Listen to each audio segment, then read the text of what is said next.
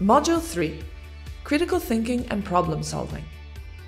This module provides some insights into critical thinking and problem solving strategies and techniques such as Scamper, SWOT analysis, and fishbone diagrams.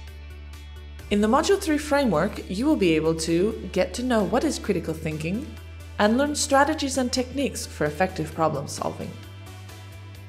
The module will be assessed through the study of a specific common problem and drafting of a fishbone diagram on its causes, and the analysis, discussion, and evaluations of other students' outputs. You will get a badge once you complete this module lesson and assessment activities. Thanks for joining our course.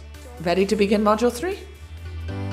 Paint the sky your favorite color.